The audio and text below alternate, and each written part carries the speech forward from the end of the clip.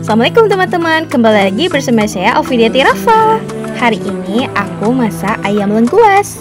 Jadi aku panasin dulu ayamnya biar nanti waktu pas goreng empuk guys. Nih aku oseng-oseng dulu ayamnya Biar uh, apa bumbunya tuh meresap guys.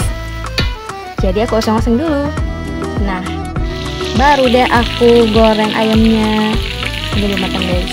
Nah ini dia udah matang ayamnya jadi saatnya kita angkat.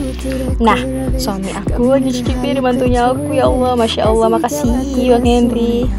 Nah masakannya udah siap. Saatnya kita makan. Mari makan. Selamat menikmati guys. Suamiku sangat suka ayam ini nah suamiku lah banget makan ayam lengkuasnya guys. Terima kasih teman-teman. Sampai jumpa